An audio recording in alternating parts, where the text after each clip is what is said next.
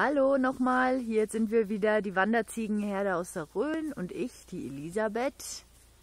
Im Moment machen wir hier Siesta, einmal drehen.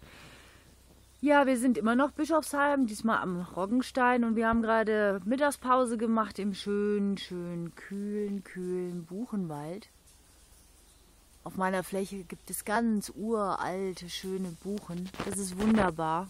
Draußen ist es im Moment ganz schön heiß gleißende Sonne, ganz schöne Hitze. Selbst der Hund hat sich ein schönes Bett gemacht. Aber es nutzt nichts. Wir müssen jetzt langsam wieder raus auf die Fläche.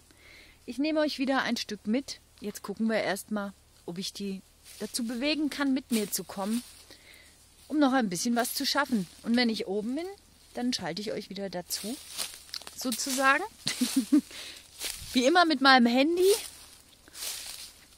ja, ich wünschte, ich hätte so eine Kamera, die man sich auf den Kopf schnallt. Das wäre bestimmt ganz lustig. Da könnte ich euch viel schönere Bilder noch zeigen. So, Kinders, jetzt ist Schluss mit lustig, ne? Zick, zick. Wir müssen mal los. Ha? Ja, ist so schön kühl hier, ne? Ja, da kommen sie. So, weiter geht's. So heiß ist es ja jetzt auch nicht mehr. Na, da unten auch. Kommt ihr bitte? Wir müssen noch ein bisschen was schaffen heute. So. Hallo Eumel, die Bäumel. Ja. So.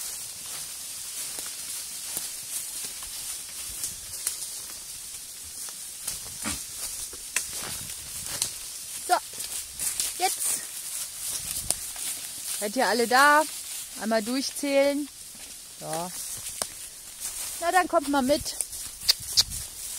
Zack, zack. So. Da müssen wir hoch. Ja. Geht ihr bitte schon mal vor. Ihr wisst ja wohin. Weitergehen. so.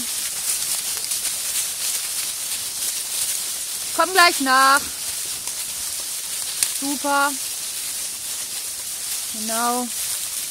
Oh je, da ist einer mit Humpelbein. Da. Ja, dir bringe ich morgen Traumehl mit. Der hat nämlich einen dicken Fuß. Wahrscheinlich haben sie sich gekloppt.